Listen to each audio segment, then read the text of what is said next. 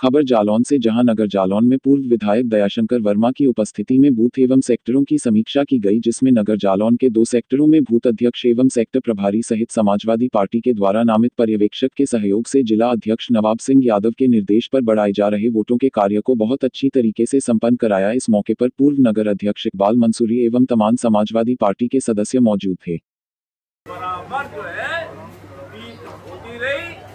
तो बराबर हुआ कि यहाँ से फतेह मिली। हम आप लोगों को बहुत बहुत धन्यवाद देते हैं।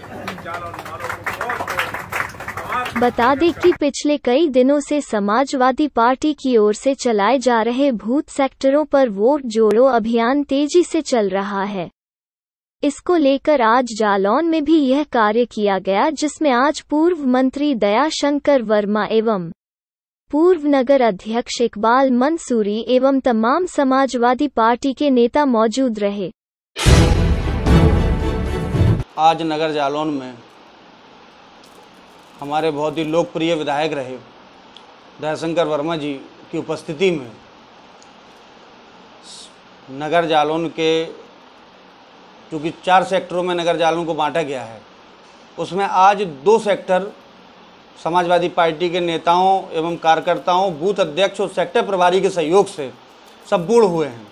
इसमें सेक्टर संख्या एक, जिसका पर्यवेक्षक मैं स्वयं भी था, इकबाल मंसूरी।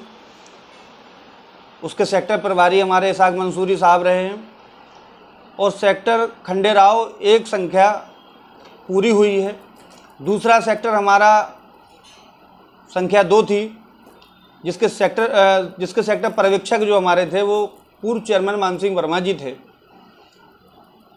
इसके सेक्टर प्रभारी हमारे नगर जालौन के सभासद विनय श्रीवास्तव जी थे, जो जोसियाना के नाम से सेक्टर है।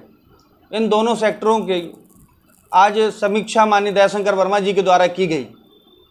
इसमें बूथ अध्यक्षों को एवं सेक्टर प्रभारियों को और समाजवादी पार्टी के कार्यकर्ताओं के द्वारा एक बैठक आयोजित की गई थी, जिसमें दयाशंकर वर्मा जी के द्वारा उन समस्त सेक्टर प्रभारियों, बूथ अध्यक्षों को धन्यवाद दिया गया और उनसे अपेक्षा की गई है कि आने वाले 2022 के चुनाव में इसी तरीके से लगकर माननीय अखिलेश यादव जी को पुनः उत्तर प्रदेश का मुख्यमंत्री बनाने का काम करेंगे। एक ही है वोट बढ़ाना।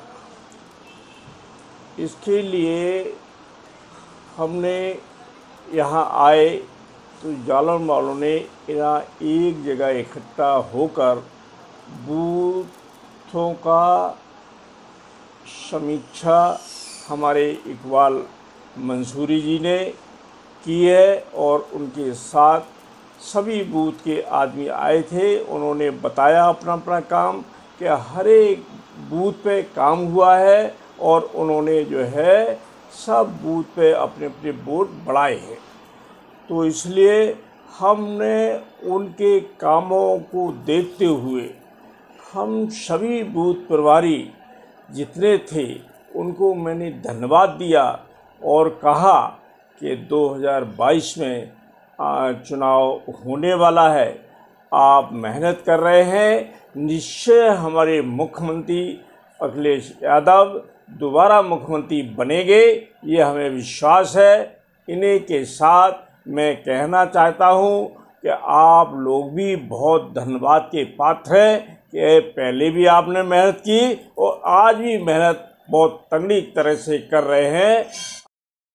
उरई विधानसभा के जालौन में लगातार वोटों को बनाने का कार्य तेज़ी से चल रहा है।